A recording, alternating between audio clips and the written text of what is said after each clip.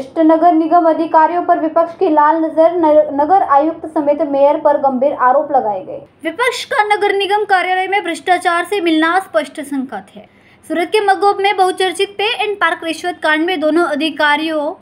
के खिलाफ कार्रवाई की मांग करते हुए गुजरात एसीबी प्रमुख आईपीएस डॉक्टर शमशेर सिंह को ज्ञापन और मुख्यमंत्री को पत्र लिखकर एसीबी हरकत में आई પહેલેથી પહેલેથી લેવાનું કે એ શું મુદ્દો છે કઈ તપાસની માંગ આવી છે શું? હા એ મારા દ્વારા એક અ, ચાર દસ બે હજાર ચોવીસના રોજ એસીબી હેડ ડૉક્ટર શમશેર સિંહને એક પત્ર લખ્યો અને સાથે સાથે માનનીય મુખ્યમંત્રીશ્રીને બી પત્ર લખેલો હતો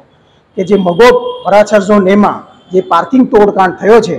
એમાં આપના બે કોર્પોરેટરોની સામે તો એક્શન લેવાયા છે પરંતુ આ કાંડમાં બે અધિકારી કાર્યપાલક ઇજનેર કમલેશ વસાવા અને તત્કાલીન આસિસ્ટન્ટ કમિશનર ધનંજય રાણે એમની સામે શા માટે પગલાં ન લેવામાં આવ્યા એના મેં અલગ અલગ છ મુદ્દાઓ ટાંક્યા હતા જે રેકોર્ડિંગ અ,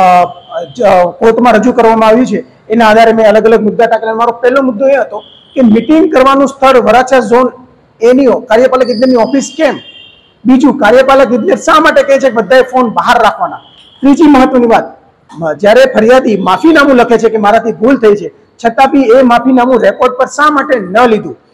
ધનંજય રાણે તત્કાલીન આસિસ્ટન્ટ કમિશનર એમ કહે છે કે અમે ત્રીજું નેત્ર ખોલશું તો મજા નહીં આવે આવી ધમકી શા માટે ફરિયાદીને આપવામાં આવે છે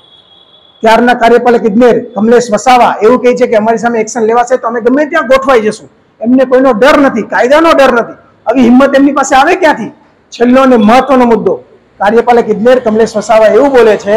કે એમની પાસે પૈસાની વ્યવસ્થા હશે તો જ હા પાડી હશે ને એનો મતલબ તે ઇન્વોલ્ડ હતા આ તમામ કાંડમાં એમનું પૂરેપૂરું ઇન્વોલ્વમેન્ટ હતું વચેટિયાની ભૂમિકા હતી તેમની ભાગીદારી હતી છતાં પણ તેઓની સામે કોઈ પણ પ્રકારના પગલાં ન લેવાયા એટલે મારે યાદપત્ર તરીકે શમશેરસિંહને એક પત્ર એસીબી હેડને લખવો પડ્યો અને માનનીય મુખ્યમંત્રીશ્રીને લખવો પડ્યો કે આમની સામે એક્શન લો અને આમનું એફઆઈઆરમાં નામ દાખલ કરો એ એ મારા લેટરના આધારે એક પત્ર આ બંને અધિકારીને ગયો છે એટલે છેલ્લા બે ત્રણ દિવસથી આ બંને અધિકારીઓ રજા પર ઉતરી ગયા છે. સંવાદદાતા કૈલાશ કુમાવત બીએચપી ન્યૂઝ સુરત.